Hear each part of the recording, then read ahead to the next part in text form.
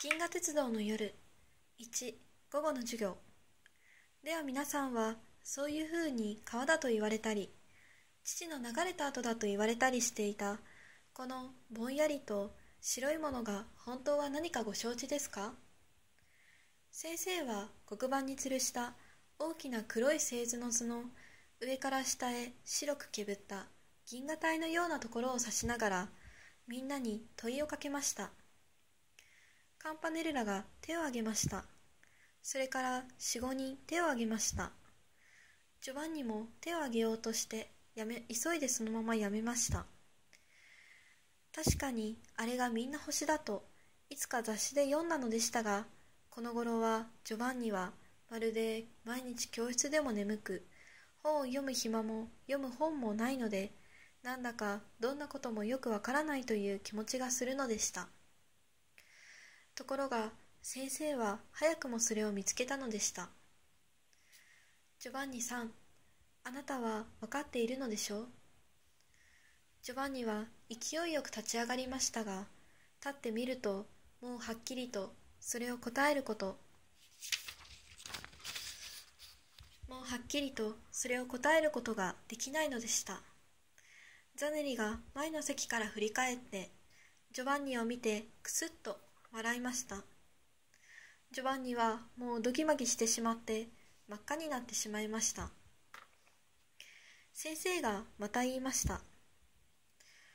大きな望遠鏡で銀河をよく調べると銀河は大体何でしょう。やっぱり星だとジョバンニは思いましたが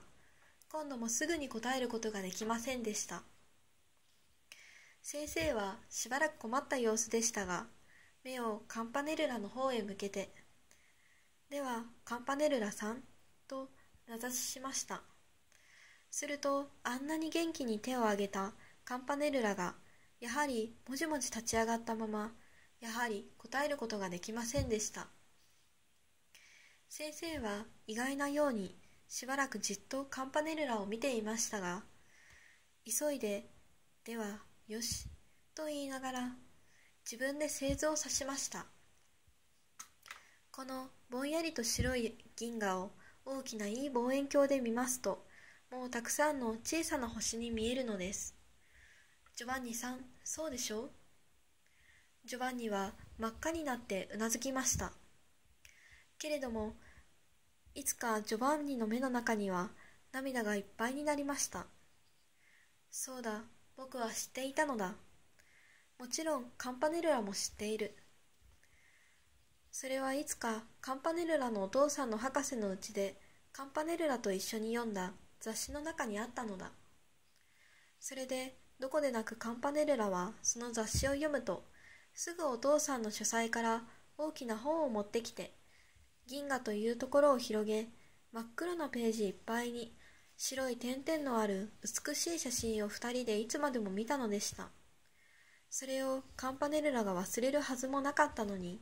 すぐに返事をしなかったのはこの頃僕が朝にも午後にも仕事が辛く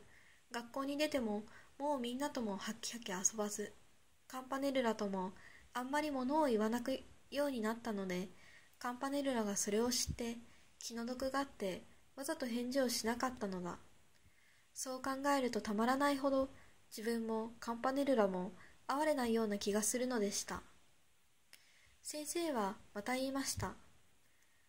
ですからもしもこの天の川が本当に川だと考えるならその一つ一つの小さな星はみんなその川の底の砂や砂利の粒にも当たるわけです。またこれを大きな父の流れと考えるならもっと天の川とよく似ています。つまりその星は皆父の中にまるで細かに浮かんでいる雌雄の玉にも当たるのです。そんなら何がその川の水に当たるかと言いますとそれは真空という光をある速さで伝えるもので太陽や地球もやっぱりその中に浮かんでいるのですつまり私どもも天の川の水の中に住んでいるわけです。そしてその天の川の水の中から四方を見ると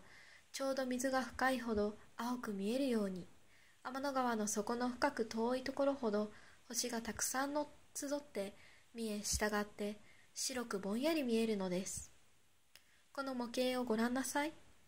先生は中にたくさん光る玉の砂の粒の入った大きな両面の凸レンズを指しました。天の川の形はちょうどこんなのなのです。このいちいちの光る粒がみんな私どもの太陽と同じように自分で光っている星だと考えます。私どもの太陽がこのほぼ中頃にあって地球がそのすぐ近くにあるとします。皆さんは夜にこの真ん中に立ってこのレンズの中を見回しとしてごらんなさい。こっちの方はレンズが薄いのでわずかに光る粒、すなわち星しか見えないのでしょう。こっちやこっちの方はガラスが厚いので光る粒、すなわち星がたくさん見えるの。見えそうの、見え、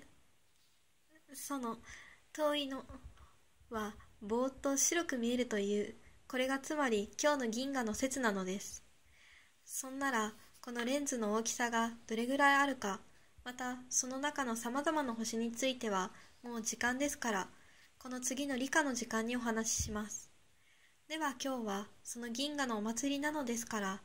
皆さんは外へ出てよく空をご覧なさい。ではここまでです。本やノートをしまいなさい。そして教室はしばらく机の蓋を開けたり閉めたり本を重ねたりする音がいっぱいでしたが間もなくみんなはきちんと立って礼をすると教室を出ました